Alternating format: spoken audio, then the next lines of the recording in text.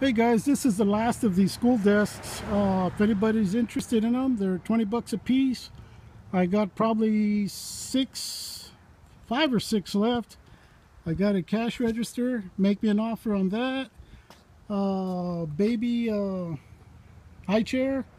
Make me uh, yeah, 10 bucks on that one.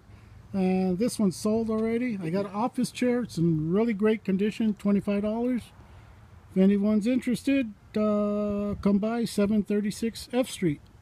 And I'll catch you guys later. Bye-bye.